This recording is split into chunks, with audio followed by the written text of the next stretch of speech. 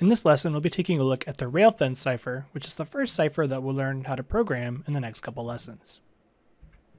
The railfence cipher is a transposition cipher, so as a refresher from our earlier lesson, that means that we're not going to be encrypting these letters or changing them from one plain text letter to a different corresponding ciphertext letter. We're going to be jumbling around the letters, but in a predictable way. The railfence cipher specifies that predictable method that we'll be using to scramble the letters. We'll begin with this plain text word, mathematics, and begin our railfence cipher. We take each letter one at a time, and we'll start by dividing that into two rails or rows in order to reorganize the letters. So we'll start with the letter M on our top row, and we'll write the letter A down below into the second row, and then we'll come back up with T to the top row, down to the second row for the next letter H, and we continue to alternate until we spell out our entire plain text. We'll group the top row or rail together to create MTEAIS, and we'll do the same for the bottom row to create AHMTC. We'll take the top row and make it the first part of our ciphertext and append on the second row to finish it out. We'll group it down below by letters of 5 to help disguise the length of our words and any spaces or anything like that. And we get the final ciphertext of MTEAI SAHMTC. One variation on the railfence cipher is to change the number of rows used to create the ciphertext.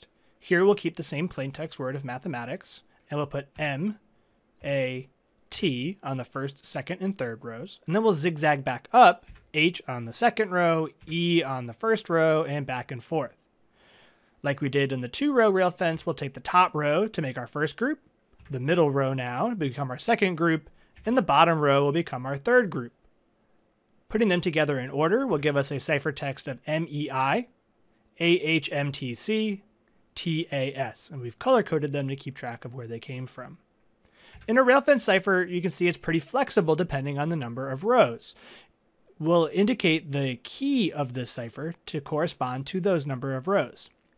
You could extend this out to do a railfence cipher with four rows, five rows, and so on. You just have to keep zigzagging back and forth. Let's talk about how to decipher messages that you might receive that have been encrypted using the railfence cipher. Here's a ciphertext that we've received, and we know it was using a two-row railfence cipher. Both the sender and the receiver of the message have to know the key in order for this process to work.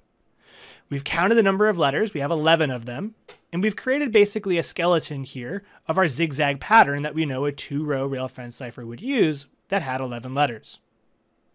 We can start filling up the top row because we know the beginning of our ciphertext was from the top row of our encryption scheme from the sender. So the top row would go across H, R, Y, O, T until we couldn't put any more letters in the top row.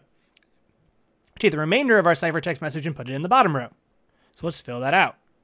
I can see that the top row will hold H R Y O T R, the bottom row is A R P T E. And when we put those in, we can now follow the zigzag pattern to recreate our plain text message. H from the top row, A from the bottom row, R from the top row, R from the bottom row, and so on until we have our plain text message. Now what you can clearly see is the name Harry Potter. How would this work for a three row rail fence? Well, it'd be pretty similarly. We take the total number of letters. The fact that we know it's a three row railfence will help us set up our kind of skeleton here or our scaffolding. And we can see we'll have three letters that go in the top row, five in the middle, and three in the bottom. And following the zigzag pattern, we can reconstruct our plain text message of Taylor Swift. Those are the details for the railfence cipher. I encourage you to see how this might work for railfence ciphers that use four, five, or more rows. And in the next lesson, we'll start to figure out how we can use the Python programming language, in particular strings, in order to recreate this in code.